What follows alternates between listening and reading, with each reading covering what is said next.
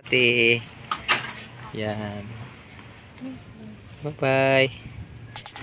Hi guys, welcome to my YouTube channel Moto Idea TV. So, please subscribe and type in thumbnail button para upload kayo sa mga bagong video.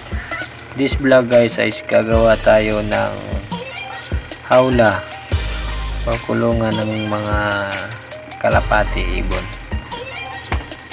dito sila medyo malaki-laki ang ginawa ko para nakakalipad-lipad naman sila. Tapos lalagyan din natin yan ng mga paitlugan.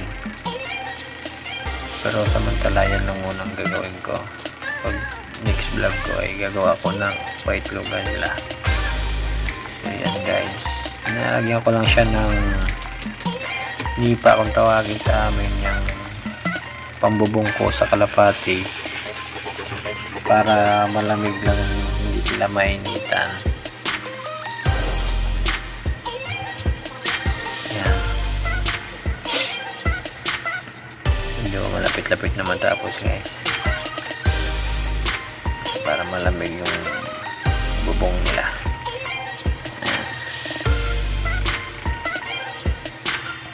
Pabilisan lang guys yung kawayan lang na ano yung ginawa natin no tsaka steel matting yung kanilang paikot. Sa kanilang bahay para hindi sila makaalpas. Ang mga kalapati guys ilalagay ko dyan ay nagmula pa po yan sa Maynila. So ipapakila ipapakita ko sa inyo mamaya yung aking mga kalapati pagkatapos lang nito magawa ang kanilang kulungan so abang-abangan nyo lang guys.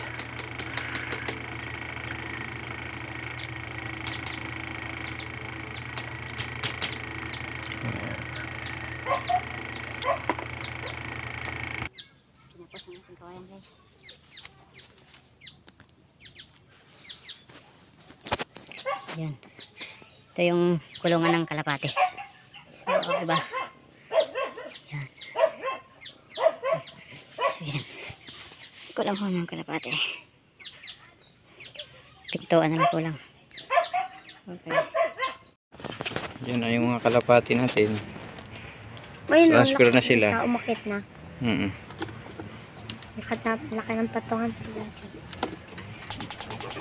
mag-isa mo ng patoka doon to ikuha ka patoka pato kayo, tatay?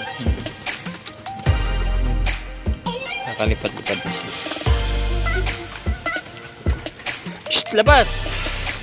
labas! ah, so nakapasok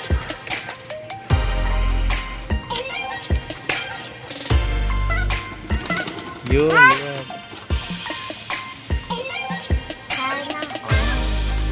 Hmm, yan, maluwag-luwag na. Kakalipad na kayo, maaarawan na sila dyan. Okay.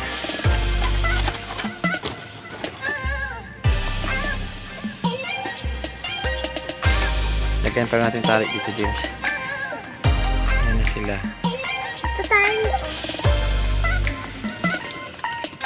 Yan, yan. Oh. Uy, inom sila ng tubig dun, oh. Dagan mo tubig, be. Kuha ka tubig, be. Pero mo kung may tubig pa yung ano dyan.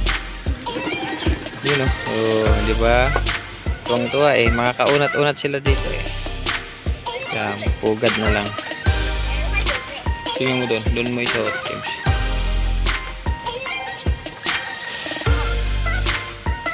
Yan. Dito sa loob, ito. Dito, hagis mo dyan. Hagis mo na lahat. Yan. Dapat may tali. Oh, hi kayo sa vlog natin. Hi. Hi guys. Yan. Yan ang mga mag-aalaga ng ating kalapati. Yan. Bye-bye. See you next vlog. Kanina puno yun ah.